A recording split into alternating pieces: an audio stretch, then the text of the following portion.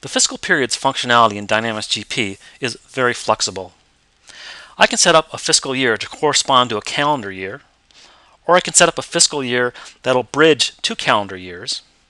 I can also set up a fiscal year that was a short fiscal year. Maybe I have to have a stub year. I could easily set that up in Dynamics GP. Let's take a look at this functionality. To access the fiscal period setup window, I'll go to Tools, Setup, Company, and Fiscal Periods. Within this screen, I can see all the fiscal periods, the fiscal years I have set up in my system. Some of them are going to be historical years. Here's a historical year. And some of these are future open years. What you'll notice is that I can also control access to a particular year within my general ledger. If I want to prevent posting in a particular period or periods, I can designate that in this screen right here. For example, in this screen, I have all periods closed except for April. You can see where I could close individual series if I wanted to.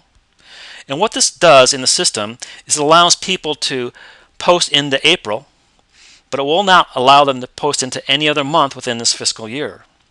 Now they can save a transaction that has a posting date other than April, but they will not be able to post it.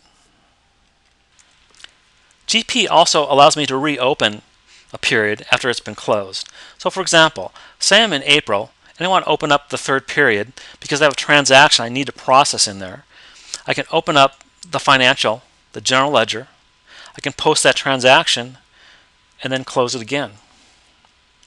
This allows me to make adjustments if I need to the previously closed periods within a fiscal year. Now let's see how easy it is to add a new fiscal year. I have fiscal years going from 2010 to 2018 in my system. Say I want to add 2019, it's easy to do. I can just type in 2019. I'll tab off that. It'll give me the first day and the last day. If I had a short year for some reason, I could put the first day and last day to correspond to that actual fiscal fiscal year. I can have as up to 52 different periods within my fiscal year if I want to. However, I'm just going to take 12 here, and I'm going to start on January 1st and end December 31st of 2019. Once I have that designated, I'll hit Calculate. It will calculate out the calendar year for me, but I can easily change these start dates for individual periods if I wanted to. So for example, if I had a 445 fiscal calendar, I could easily do that within Dynamics GP by altering the start dates to equal the starting day of each period. I can also override these period names, put in the names of the month if I wanted to.